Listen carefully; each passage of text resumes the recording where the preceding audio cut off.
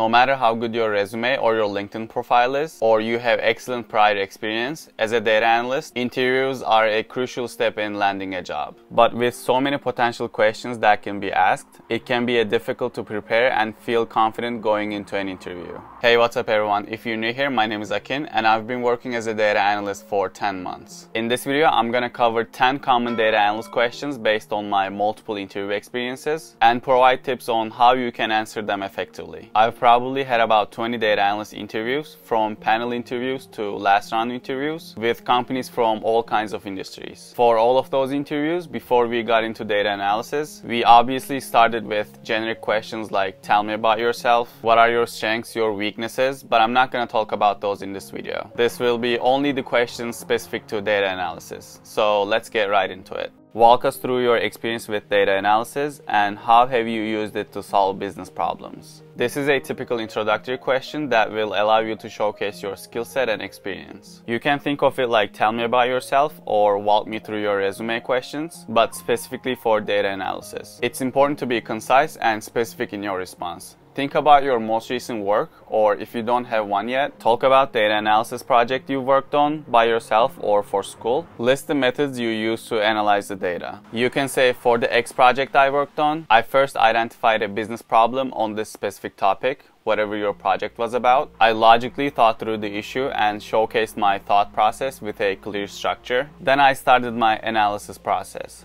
I used web scraping methods using Python libraries to gather the data, clean the data using Xtool, ran SQL queries to manipulate and visualize. Then you can talk about how your analysis led to business insights and solutions. What programming languages and tools are you familiar with for data analysis? Usually the skills and tools you have are listed on your resume, but you would probably still get asked about them. In my last interview, the hiring manager asked me the tools I used when I was talking about my personal project. He asked me the languages I used as well as the environment and the databases. He also had follow-up questions to make sure I knew what I was talking about. So when they ask you what programming languages or tools are you familiar with, be honest and try to give them details.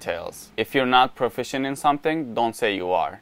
How do you approach cleaning and transforming data? I was struggling to answer this question when I first started interviewing for data analyst positions because of my lack of experience, but I still had an answer that I gave from my project experience and from the tutorials I watched. Data cleaning and transformation is a very crucial step in data analysis, so it's important to be able to articulate your approach to this process. Talk about how you identify and deal with missing or dirty data and how you transform it into a format that is ready for data analysis. Be sure to mention any tools or techniques techniques you use in the process.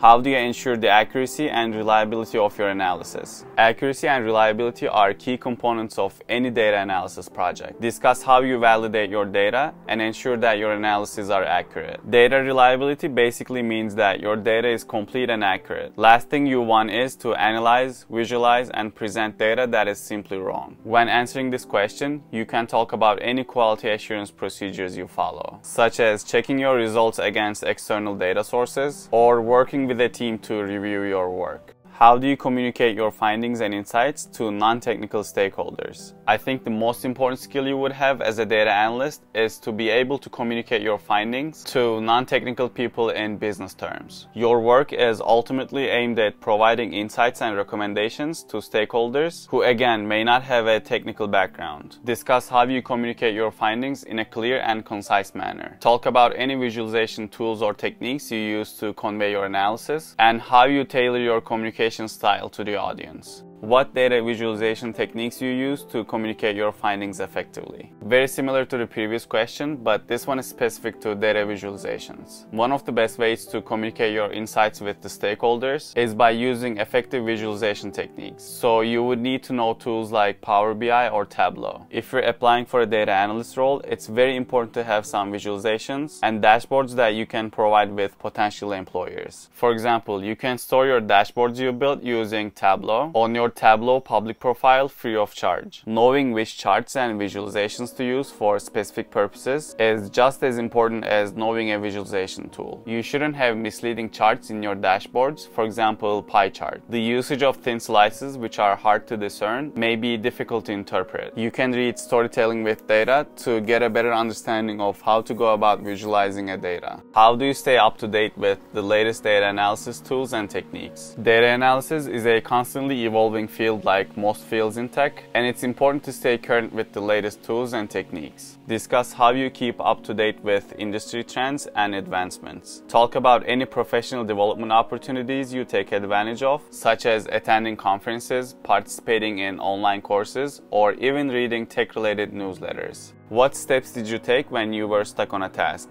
Can you walk us through your problem solving process? As a data analyst, your ability to solve complex problem is critical. Discuss your problem solving process, including how you define the problem, gather and analyze data, and develop and test hypotheses. Talk about any examples of problem solving you experienced and how you have overcome them. When I was interviewed for my current role, they asked me what steps I was taking when I was stuck on a task at work. They didn't want to hear answers like, when I couldn't figure out something, I asked my manager or I collaborated with my team members. While those are okay answers and of course you're gonna ask questions, but people actually wanna see that you're able to solve problems on your own or at least you try your best before looking for help. Have you worked with any ETL tools? If so, which ones? This might be more of a data engineer interview question, but as a data analyst candidate, you could be expected to answer this question depending on the company. There are different types of ETL tools such as open source ETL tools or cloud-based ones. If you worked with any of the ETL tools, make sure to talk about it with specific details. How do you handle working on multiple projects with tight deadlines? Lastly, this question is not specific to data analysis and it applies applies to every other role out there. Just like for any other job, attention to detail is critical for data analysis, but meeting deadlines is also very important. Discuss how you balance the two and any strategies you use to ensure that you're able to complete your work on time while maintaining accuracy and quality. Make sure to give specific examples, even if the example is a negative one, where you actually missed a deadline. If you do give a negative example, remember to state that you learned from your mistake and learned your lesson.